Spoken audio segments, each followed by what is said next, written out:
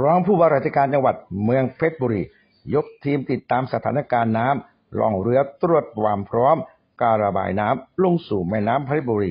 และเขื่อนเพชร เตรียมการป้องกันปัญหาอุทกภัย นางวันเพ็ญมังสี นายธรรมนูญศรีวัฒนะ นายสมชัยเลิศประสิทธิพันธ์ รองผู้ว่าราชการจังหวัดเพชรบุรี นายสมเกียรติแจ่มจันทร์ ผู้อำนวยการโครงการชลประทานเพชรบุรีสำนักงานชลประทานที่ 14 ในอำเภอท่ายางหัวหน้าส่วนราชการและเจ้าหน้าที่ได้ลงพื้นที่ตรวจสถานการณ์น้ำพื้นที่อำเภอท่ายางล่องเรือ แม่น้ำเพชรบุรี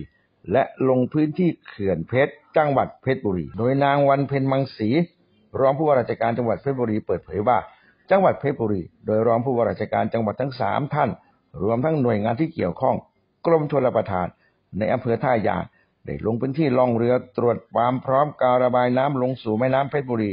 ติดตามกระแสน้ำการไหลของน้ำว่ามีสิ่งกีดขวางทางน้ำที่จะทำให้น้ำไหลไม่สะดวกหรือไม่ ตลอดเส้นทางน้ำพื้นที่น้ำหลากว่าจุดไหนบ้างที่มีสิ่งกีดขวางทางน้ำเพื่อให้หน่วยงานที่เกี่ยวข้องได้เร่งดำเนินการแก้ไข ซึ่งจากการล่องเรือสำรวจสบายใจได้ แม่น้ำเพชรบุรีนั้นไหลได้ตามปกติ สิ่งกีดขวางทางน้ำนั้นมีน้อยมาก ส่วนระดับปริมาณน้ำที่ทางชลประทานปล่อยน้ำมานั้นยังเป็นอยู่ในระดับที่คงที่ และยังคงรักษาสภาพของกระแสน้ำได้เป็นอย่างดีพร้อมขอความร่วมมือชาวบ้าน อย่าเอาสิ่งกีดขวางทางน้ำเพราะจะทำให้อัตราการไหลของน้ำช้าลง และส่งผลทำให้น้ำไหลลงทะเลได้ช้าลงอีกด้วย ขณะที่นายสมเกียรติแจ่มจันทร์ผู้อำนวยการโครงการชลประทานเพชรบุรีสำนักงานชลประทานที่ 14 ได้กล่าวว่า การบริหารจัดการน้ำเพชรบุรีที่มีความพร้อมมากที่สุด ภายใต้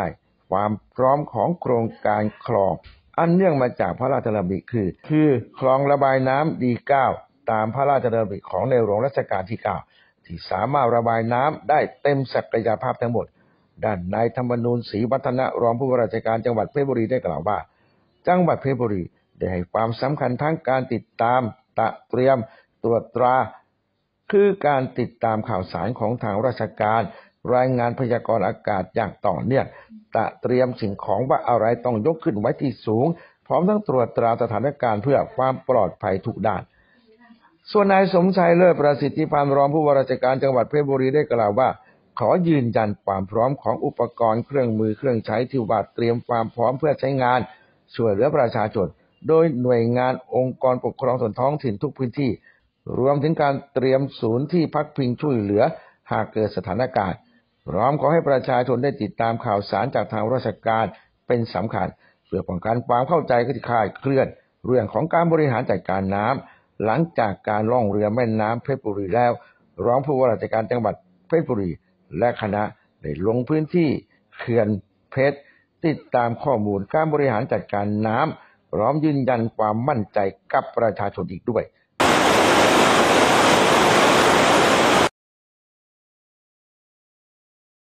พา กันทีมงานมาดู แม่น้ำเพชรบุรี เพื่อดูว่าแม่น้ำเพชรบุรีกระแสน้ำเยอะแค่ไหน แล้วก็มีสิ่งกีดขวางทางน้ำที่จะทำให้น้ำมาไหลไม่สะดวกหรือไม่นะคะ ระหว่างทางเราก็ดูมาตลอดทางนะคะ เพื่อจะได้สั่งการว่าตรงไหนที่เป็นสิ่งกีดขวางทางจราจรน้ำเราก็จะได้สั่งการให้หน่วยงานที่เกี่ยวข้องไปดำเนินการแก้ไขค่ะ สิ่งที่เราจะขอความร่วมมือชาวบ้านเพชรบุรีนะคะ ก็คือในเรื่องของคนที่อยู่ริมน้ำอะค่ะ ส่วนใหญ่ก็จะทิ้งเศษของต่างๆ เช่น ตัดต้นไม้แล้วต้นไม้โยนมาลงแม่น้ำอย่างเงี้ยค่ะ ก็ขอความร่วมมือว่าทุกคนช่วยกันคนละไม้คนละมือนะคะ อย่าเอาสิ่งกีดขวางทางน้ำมา เพราะว่าเวลาน้ำไหลมาค่ะ มาแรงๆเนี่ยจะพัดสิ่งเหล่านี้ไปไปปะทะกับสิ่งกีดขวางแล้วทำให้กระแสน้ำเนี่ยไหลช้าลง ก็เราคิดว่าจังหวัดเพชรบุรีอะค่ะ ถ้าน้ำฝนตกมาปริมาณไม่เกิน364จังหวัดเพชรบุรีเราน่าจะกระจายได้ทางชลประทานนะคะ โครงการส่งน้ำและหน่วยงานที่เกี่ยวข้องก็เตรียมเครื่องไม้เครื่องมือนะคะ ที่จะผลักดันน้ำออกไปโดยเร็วอะค่ะ ในฐานะที่เราอยู่จังหวัดเพชรบุรีก็จะมีแค่ 3คำครับ ติดตามตรวจตราแล้วก็ตะเตรียมครับได้มีการสั่งการนะครับให้ทางองค์กรปกครองส่วนท้องถิ่นนะครับ ทุกแห่งนะครับ ได้จัดเตรียมเครื่องมือเครื่องใช้นอกจากว่ามีแล้วเนี่ย ยังต้องดูถึงความพร้อมของการใช้งานด้วยครับรวมถึงจัดทำแนวทางในการบริหารจัดการศูนย์พักพิงด้วยประชาชนเนี่ยควรจะต้องติดตามข่าวสารจากทางราชการเป็นสำคัญนะครับ เรามีความพร้อมในเครื่องมืออ่างเก็บน้ำต่างๆพ่องน้ำอยู่ในเกณฑ์ที่สามารถรับน้ำได้ เครื่องจักรเครื่องมือทั้งหมดนะครับที่อยู่เนี่ย